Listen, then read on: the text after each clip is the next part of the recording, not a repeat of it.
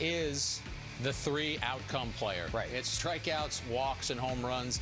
He has talked about that. He has admitted that that is who he is. But what he did with the Yankees, Chris, was disappointing. He will admit it's disappointing. The Yankees will admit it was disappointing.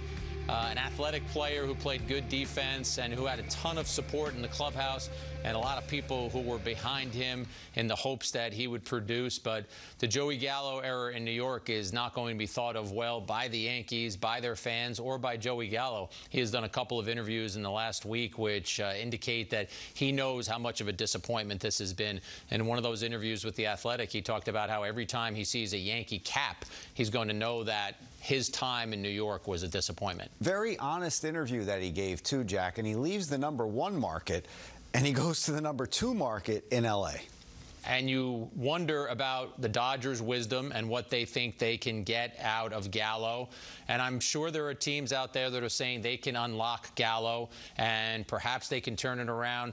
And he hits a bunch of home runs and he gets on a little bit of a roll because that's the thing we never saw with the Yankees, Chris, is a streak where Gallo suddenly hit eight homers in 10 games. Right. Or, had an onslaught where he felt like he was the player that he needed to be.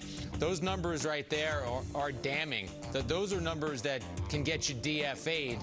Gallo has enough of a resume with a couple of 40 homer seasons on his career and a couple of gold gloves that another team that is contending for a title in the Dodgers is uh, interested enough to give him a shot. Jeff Passan is now reporting that the deal is done, so Joey Gallo is a Dodger. And Jack, how does this shake out for the Dodgers? How do they utilize Gallo out there? Well, I think you try and find spots for him in the outfield. You try and sp find spots for him in the DH. Like I said, they're trying to unlock the player that the Yankees thought they were getting. You're always going to get a lot of strikeouts with Joey Gallo, but if you get the 40 homer potential. If you get a bunch of walks, you can live with some of that. The Yankees were unable to get all of that from Joey Gallo. And like I said, it'll just go down as a disappointing part of his career.